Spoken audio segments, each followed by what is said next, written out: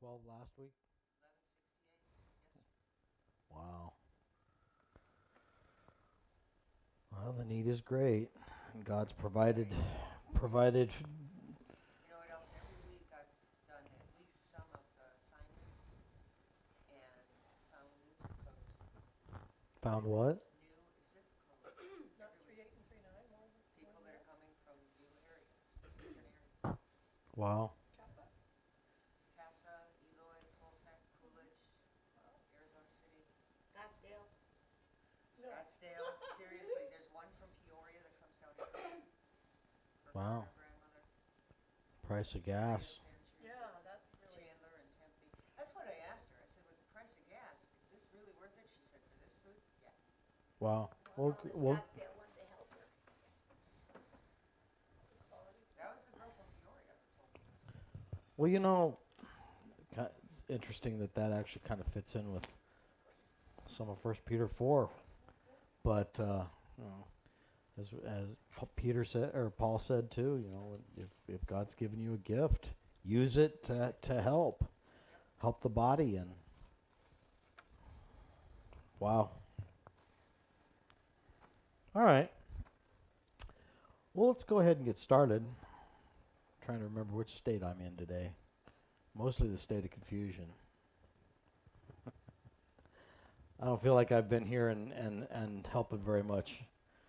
Definitely been missing my family here. Let's go ahead and start with prayer.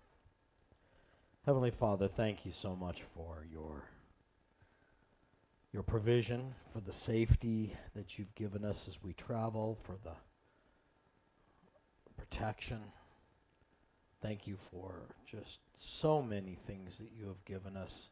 Thank you for uh, continuing to provide in the food bank the ability to minister to people's needs in these rough times, these dire times.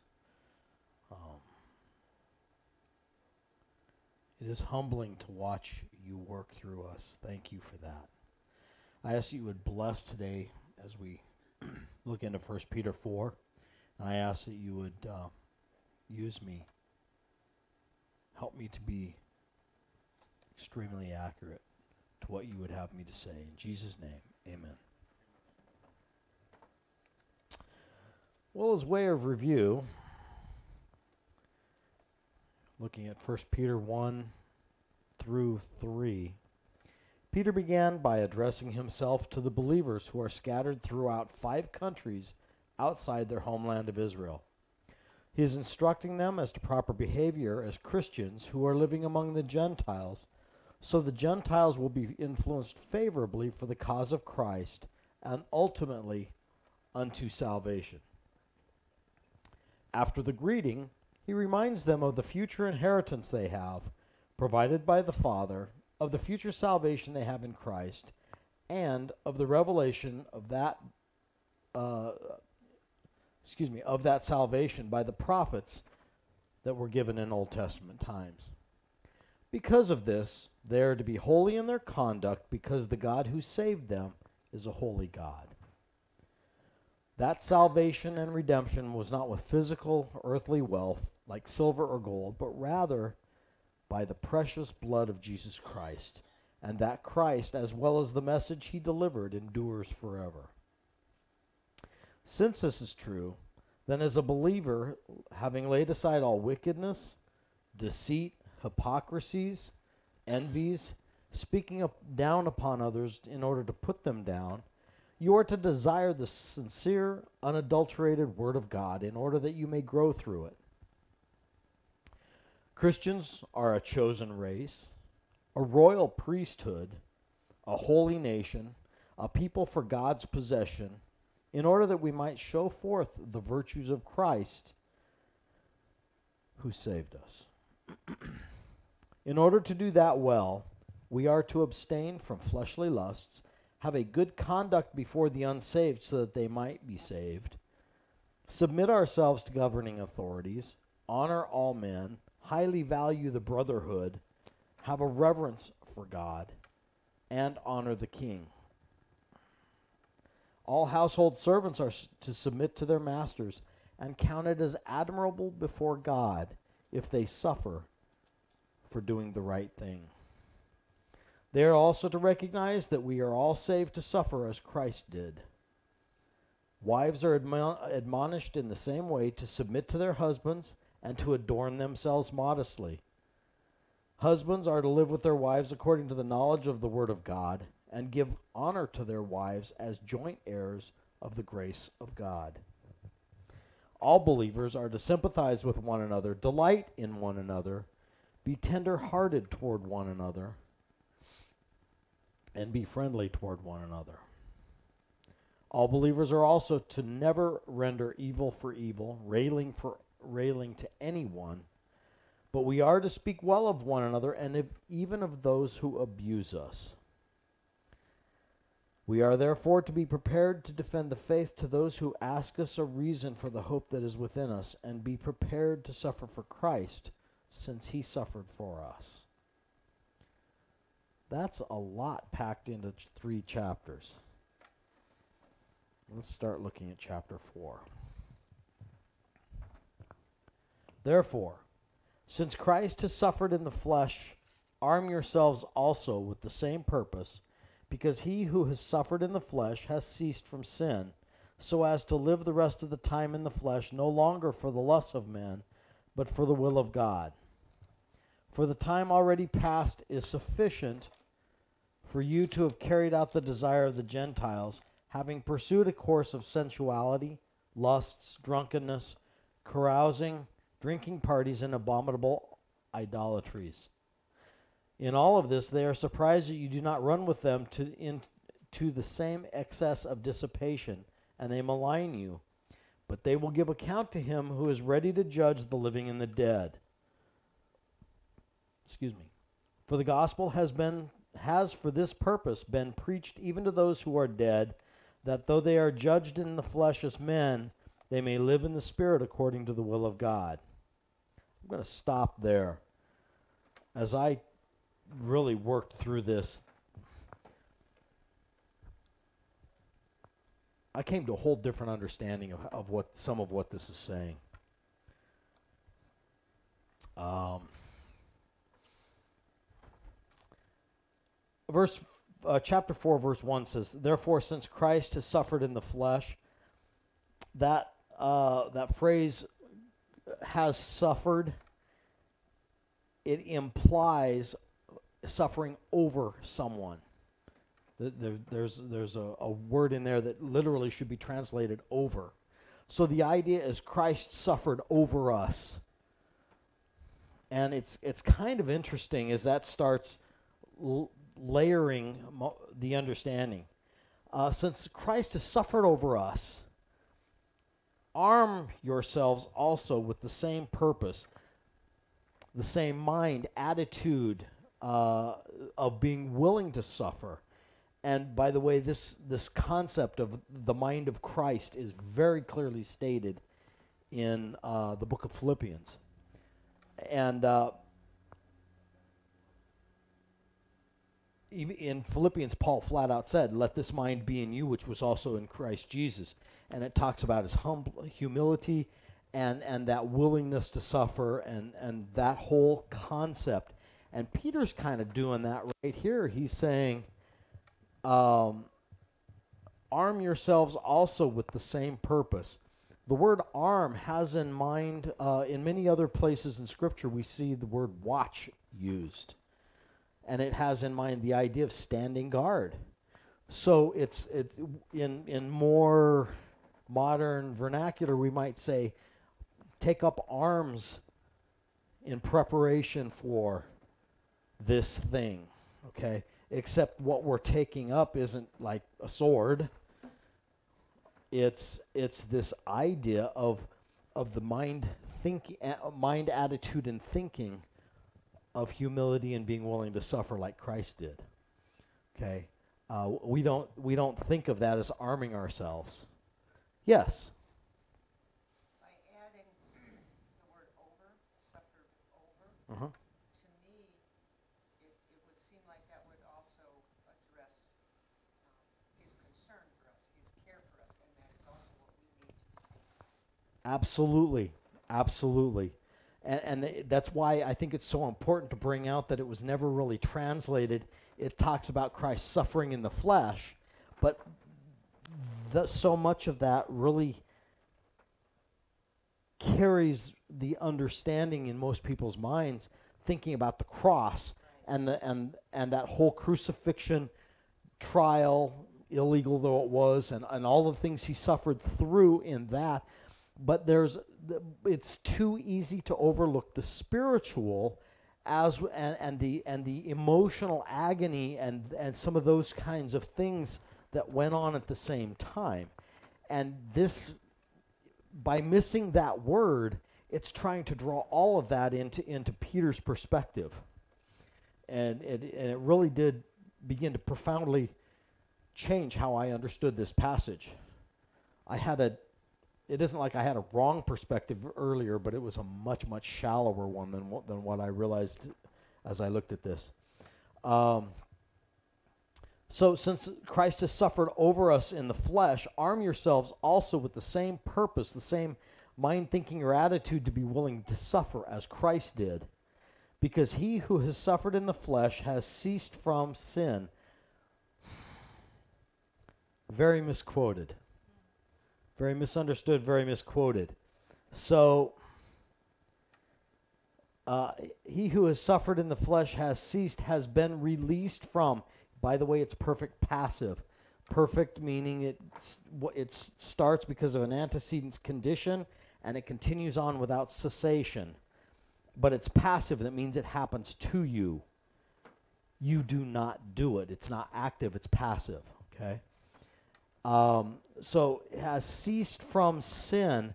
That word sin is actually a singular. It isn't sins. It isn't sin as a plural sin in, in, involving all of our sin, our sinfulness. It isn't talking about that. And this is where it gets misquoted many times. There are sects of people who call themselves Christians, and I am not here to judge whether that's between them and God. Okay, but when you start naming the name of Christ, you start being accountable for what you say. And they will say that Peter and John, and this is one of the passages they try and use as proof text, that, well, when, when you're a godly Christian, you don't sin anymore. And that is just absolutely wrong. Throughout the book of Romans, in, in Paul's dissertation about our sinful condition, and here, where it uses the word sin in a singular word, it's literally, and, and in Romans, Paul actually wrote it. Here, it's implied. Because he's using the word sin, it's the sin. The antecedent uh, definite article, the, is used in Paul's writings in almost every single occurrence of the use of the word sin in the book of Romans. It's an amazing study because now all of a sudden we're talking about, and Lucy, you can you can grab this because of your grasp of grammar very very solidly. When you say a noun, in this case sin, it's implied that it could be a sin. It could be just any one. But when you precede it by the definite article the, now you are stating that there is a specific, definite, particular sin. Am I correct? Okay. So when Paul comes through Romans and he says the sin, he is not leaving it open to, to sinfulness. He is, he is referring to a particular sin, and that sin was the sin in the Garden of Eden from which ma- mankind fell or through which mankind fell. That is the pr- the that is the context that he's referring to. Okay? And when you look at that and you, and you start saying famous one, for the wages of the sin is death. It is because of the fall and the inherited sinful nature that came out of the of, out of the Adamic nature back in the Garden of Eden. That is why why we are dead spiritually in our trespasses and the sin. You see? And Peter carries the same thing forward here he who has suffered in the flesh has been released from the sin. Paul makes the statement over and over again that, that because of the work of finished work of Christ, when we accept that, we are no longer slaves to the sin. Peter's saying the same thing. Okay? It does not mean that I have overcome my sinful nature and I will never sin. That is absolutely biblically incorrect. In fact, I would dare to say it approaches heresy. And that's a very strong word. It is not that we will not sin, it's that we are released from the bondage to the Adamic nature sin that occurred in the Garden of Eden. That's what Peter's saying here. Okay?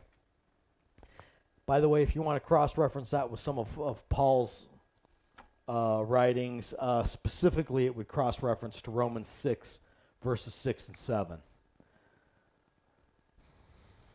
Anyway, arm yourselves with the same mind, thinking, or attitude as Christ, uh, uh, being willing to suffer, because he who has suffered in the flesh has been released from the sin so as to live the rest of the time in the flesh, no longer for the lusts of men, but for the will of God. Do you see how that fits? If you are no longer a slave, a, a, a bond slave to the sin, because you have been washed in Christ's blood, you've accepted his finished work, you are redeemed, regenerated, all of these uh, uh, adjectives that we use to describe this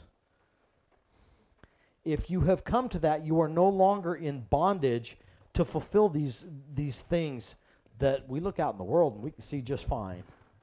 Okay? And throughout history, that has been the track of mankind. Mankind is not getting better. Okay? So once you have been saved, you are no longer bound to that as a slave so you can then begin with the power of the Holy Spirit to overcome those sinful things in your life because you're no longer chained to that to that original sin. Okay? Verse 3 for the time is the time already past is sufficient for you to have carried out the desire of the Gentiles having pursued a course of sensuality lusts, drunkenness, carousing, dr- uh, drinking parties, and abominable idolatries. The life you lived up to the point where Christ got hold of you and you came to understand the gospel message was enough. Anyone who wants to say, and there are those who play off the hedonistic stuff and say, "Well, I got to check out the sin. I got to I got to understand that so that I can turn away from it." That is not how sin works. That is not how sinful nature works. And it is not what scripture teaches. Peter here is saying, whatever sinfulness you did in your life prior to Christ getting hold of you because you were bound and chained to that sin, you have been released from and it and and what you did was bad enough and it was sufficient.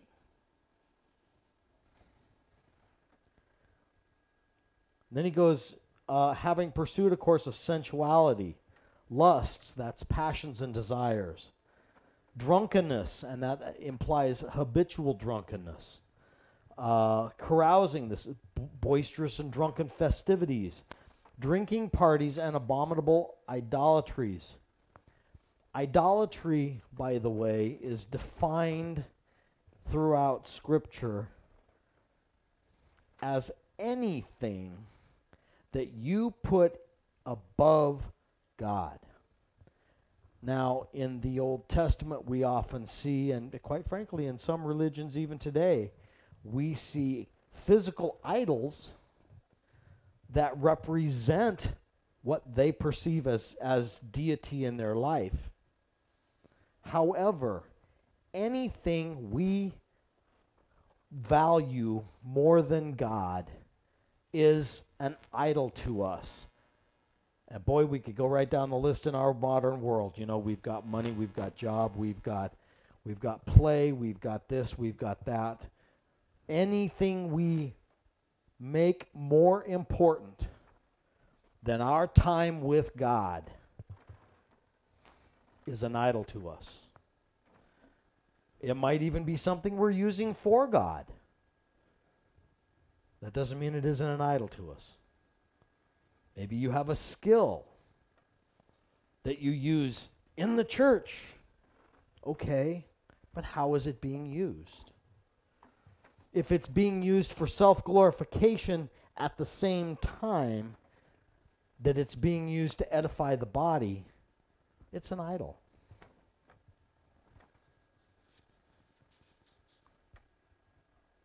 Verse 4. In all this, in everything we've covered up to this point, they, the, the unsaved people that are watching you, are surprised that you do not run with them into the same excesses of dissipation and they malign you. Oh, so you're not good enough to go out drinking with us tonight? You're you're fill in the blank. Oh, oh, you're one of those goody two shoes, holier than thou people, huh? Uh, we've all heard it. We all understand what I'm talking about. Okay. Um, no, they don't understand that Christians can have a wonderful, good, clean fun without going into that. The word dissipation has in mind this idea of wastefulness. Okay? Why spend why, why spend $15 when you can spend 30 or uh, this this whole I, i'm being a little sarcastic with that but this whole idea of, of just not applying biblical stewardship principles and instead having applying it all towards having fun according to their de- their definition. And they're looking at you and going what's wrong with you? A stick in the mud? What's going on with that Verse- There's a kind of fine line there too, as far as, I mean, you don't have to always stay home. no no no and i'm not at all saying that And you want to go with them and be a good example too sometimes, you know. okay okay but make sure that the get- I co- get what you're saying. But but let's let's make sure that the context of what they're doing and where they're going does not get taken as condoning it.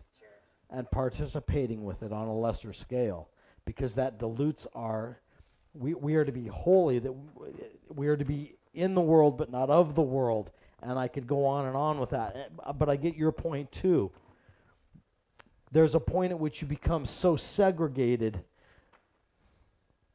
That you're The- losing any opportunity for influence on anybody also. the, the old saying that you can become so heavenly minded that you're no earthly good? Sure. Absolutely. Okay. However, with all of that, as they come to this point of you won't participate in their excesses, their sinfulness, and their dissipation, you won't condone it because you choose to separate yourself from that, and they malign you for it. Verse 5 But they will give account to him who is ready to judge the living and the dead. Um, the word living is a plural word, so is the dead. So it's the living ones and the dead ones. I've mentioned before that when you look at the New Testament, the word dead, there are a couple different words for it. Uh, and it's really helpful for us to understand which word is being used here in order to fully understand what's being said. And they will give account, the unsaved who are maligning Christians for not being willing to do those things that they ought not do, will be held accountable to him who is ready to judge the living ones and the inoperative or inactive ones. It's the word nec- uh, necros here. Okay? That's verses 1 through 5. Now I'm going to jump into verse 6 here. If I can get at least through verse 11, it would be really nice. Wow. Oh, come on. I've got another 15 minutes. for the gospel has for this purpose been preached even to those who are dead, that though they are judged in the flesh as men, they may live in the spirit according to the will of God. The end of all things is actually I read that, didn't I? But I haven't broken it out.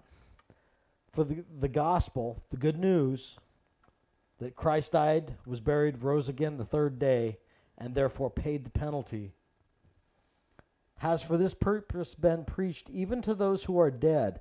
Again, root word necros, inoperative or inactive ones, that though they are judged in the flesh as men, they may live and continue to live, present tense verb, in the Spirit according to the will of God. The will of. Notice in your Bible, it should be in italics. It was added. It's not according to the will of God, it's according to God. God- says According to God. Yours is according to God. What version do you have, Luz? NIV? NIV? Okay. All right. Uh, in in uh, a number of translations, it says according to the will of God, and uh, the will of should be in italics, which means the translators added it thinking that they're making it more readable. But the issue is sometimes sometimes it changes the nuance of what's being said.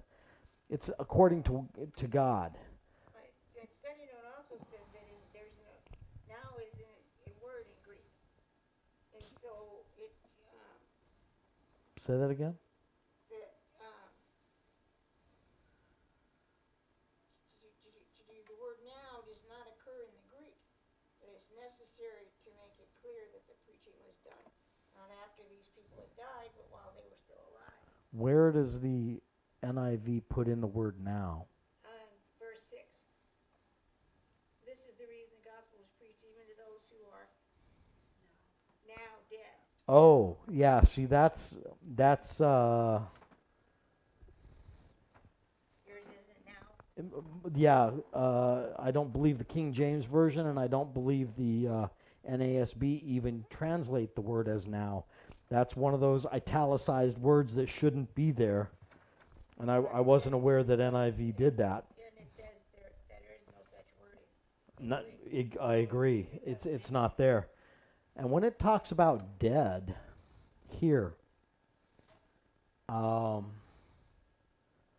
there are a couple of things that can be taken into view, and I honestly haven't quite chewed through it enough to be sure how I want to take that.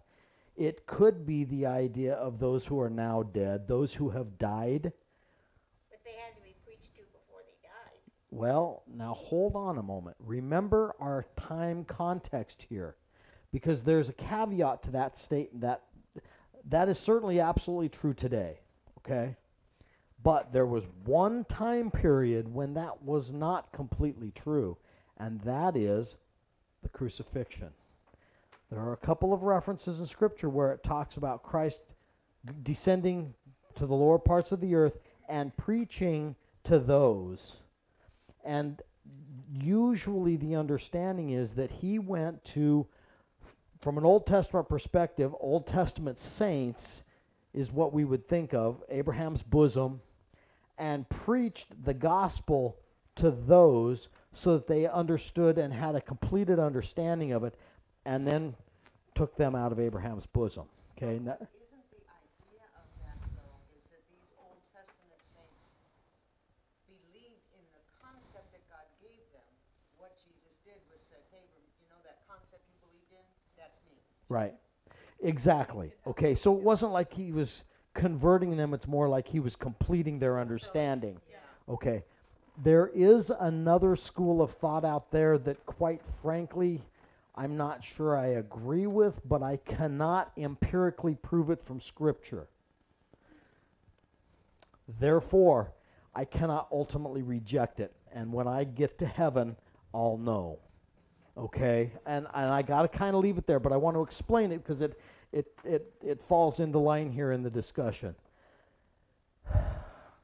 When it, when the when scriptures talk about Christ during those three days descending into the bowels of the earth, which we would look at as old as Old Testament Hades or Sheol, depending whether you're looking at the Greek or the Hebrew. And we understand from a number of, of scripture passages throughout throughout the Bible, especially the Old Testament, that there were two halves to that. We even see that in early in the New Testament in Christ's ministry when he gave us the the uh, parable of, of Lazarus. Okay. One of the th- things that is a biblical possibility is that Christ understood Abraham's bosom, that they were saved, that they were just Old Testament saints. So it was simply bringing them up to understanding. It is possible that he actually went to the torture side of it. Most of those people did not know who God was. And so it is possible that he actually preached the gospel to those so that those who when they heard it realized what what it was they might have been converted at that point. I don't know. Scripture does not say this is theorizing. I just want you to understand there are actually kind of two schools of thought there about whether he went to all of hades or just to abraham's bosom or simply possibly to the torture side, the torment side of Hades. And it says he it does say that he led captives free.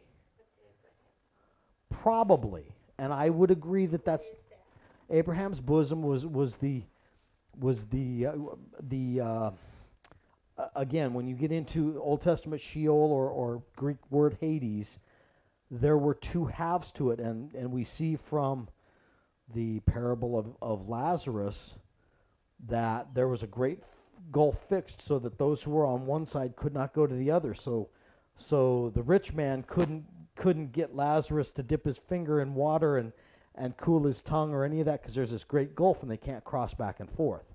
Okay? But but Old Testament saints, those who who Abraham is what's why they part of why they call it Abraham's bosom. Abraham, he was justified by faith. Those who were in an Old Testament context prior to the crucifixion were justified by their faith that God would save them because of their of their faith in him, not because of their obedience, okay? And those when they died went to the pleasant side of of of Hades, but it was kind of this holding. He they did not go to heaven. Okay. And they did. At some point they did, and I do believe Scripture teaches us that that was when Christ uh, was crucified. That three days he was dead, somewhere in that time frame. It's not broken out beyond that. So now we start saying, "Well, this is my guess. That's your guess." I don't know. Okay, and we don't even actually know which side of Hades he went to. There are different different beliefs in different ways, and I'm saying I lean towards Abraham's bosom, quite frankly, personally, but I cannot use the Bible to say no because of this passage. It was absolutely this side or that side. I can't do that, and I won't. Patty? so at that point, were souls not going to heaven? They No, they were not. just going to They were going to Sheol, and it was almost almost a. a they were obviously aware, in limbo. kind but it was a it was a state. Yeah, it was kind of a stasis. They were in limbo, and and they were waiting.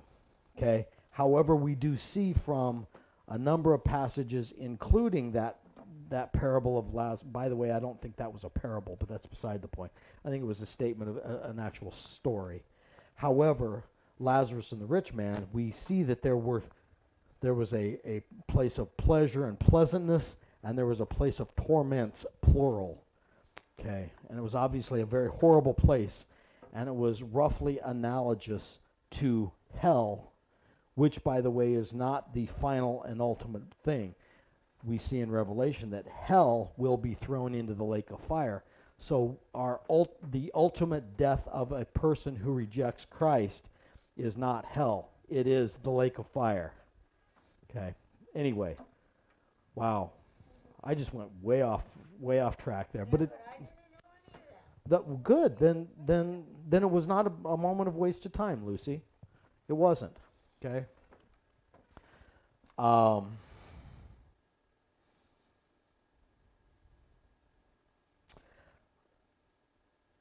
verse We don't read about hell, we read about heaven. Well, yeah, and everybody wants to say go go to heaven, go to heaven. Well, that's certainly a post crucifixion reality. Okay, but prior to that, that is not where they went. Um.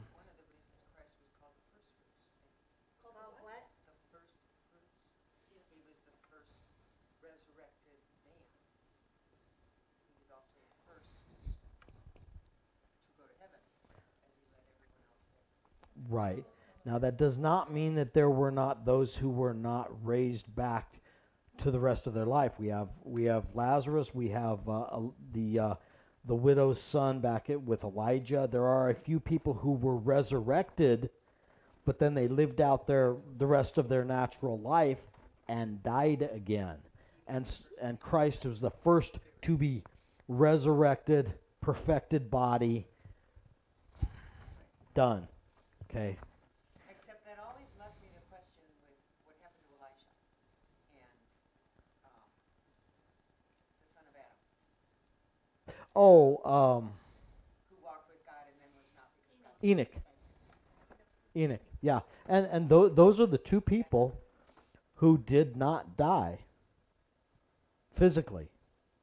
So there again. Now we're now we're getting a conjecture, but there is a conjecture that that the two witnesses who are sent from God in in Revelation may very well be Enoch and Elijah.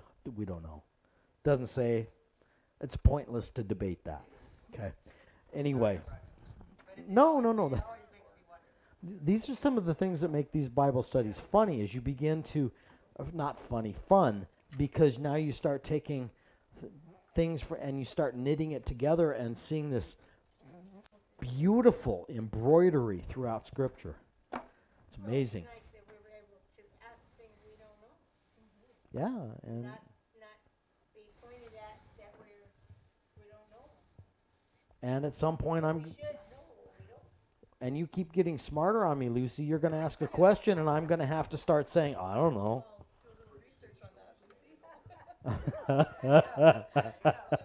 Okay. She could do that. Um, so uh, let me get back to verse six because we uh, we bunny trailed and used some time. That's okay. I'll tell you right now, I'm not going to get get through verse eleven. Um, but I do want to finish up verse six. I want to point out a few things here. Okay, I I I mentioned that that. Uh, there are those who think that this may refer to Christ preaching to those dead ones who who were in Hades.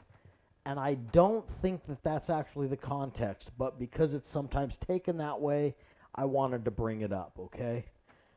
Um, it says that though they are judged in the flesh as men, they may live in the spirit according to God. Those are all present tense statements and there's no reason for them to be judged as men if they've already died. It doesn't make sense. So I, I believe that the context really is talking about those who grasp the gospel message, accept it, and become Christians. And at that point, even though they're judged as men and therefore judged by what we can see externally, and by the way, the context is Christians being maligned, right? Because we, we stand aside of th- some things. Nevertheless, they may live in the Spirit according to God. So could this be talking about those people who are maligning them, judging them in the flesh? Well, it could be. Or Sure. it could also maybe be talking about how you are um, judged for what you have done. There's Mhm. you still have those consequences that you have to deal with. and I think all of that carries carries into this into this context, certainly. Um, yeah.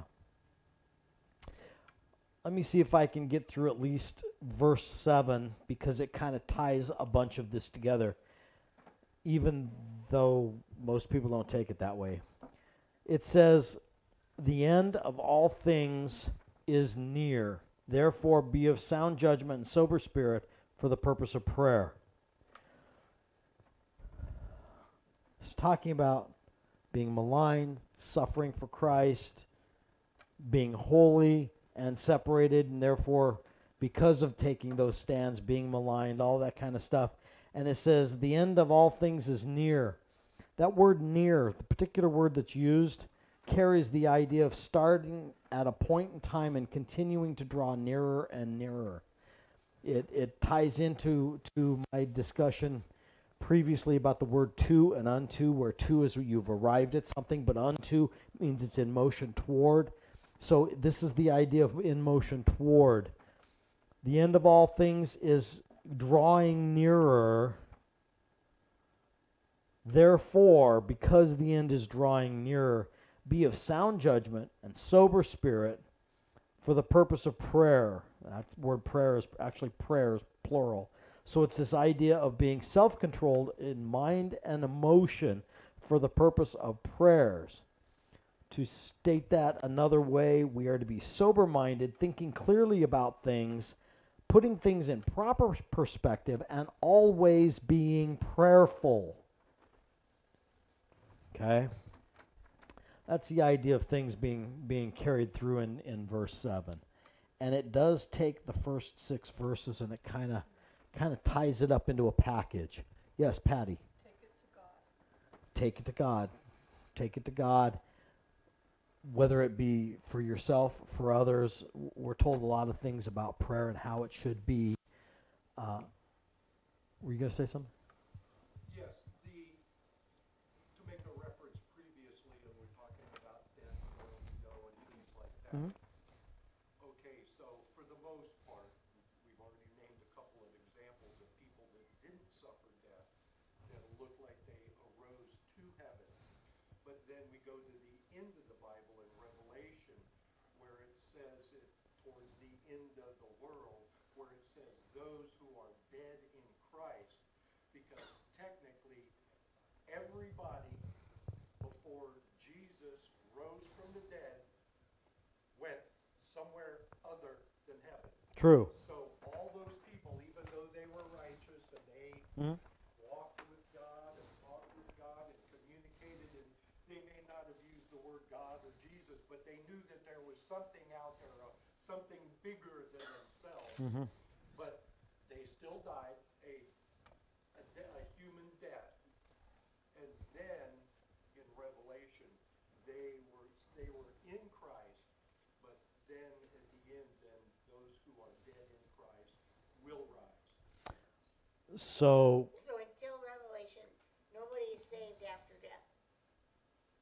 Once you since die, you since can't be since saved. the crucifixion and since that completed work you have to accept in this life because once you f- separate from the body and this is where it gets into that word dead and which word is being used. Is it necros or thanatos?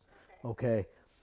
Um, once that happened one significant thing changed and that is that you would never again be allowed to change your mind and say, oh, Right. this eternity thing's real. I better accept Christ. Can't do that.